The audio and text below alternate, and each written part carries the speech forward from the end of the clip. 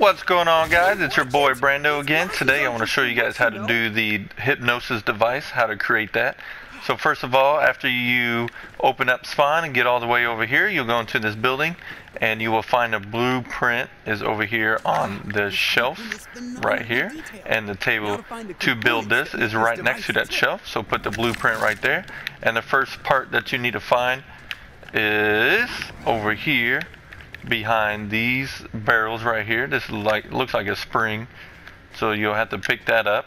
Like I said before, it's a little finicky to pick these pieces up, but all I have to do is just keep moving back and forth and uh, spamming your square button on uh, PlayStation, and you will be able to actually pick up the device. So once you have that, add it to the table. So the next part you need to find is this little radio part over here.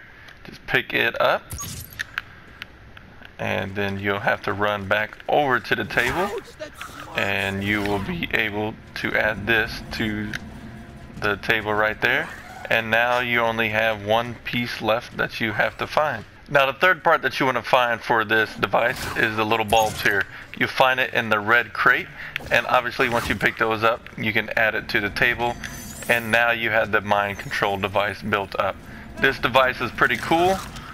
Um, it treats like the uh, monkey bomb. I'll show it to you guys right here. You just set it down right here. Does some little funky stuff right here. And you'll see that the zombies are attracted to it and their eyes light up different colors. It's pretty cool. Eventually it'll explode and the zombies will explode. Alright guys, hope you guys enjoyed this tutorial. Please smash that like button. Please subscribe if you're new to the channel. Please hit that notification button so you guys never miss any uploads from yours truly. Alright guys, until next time. I'll see you later.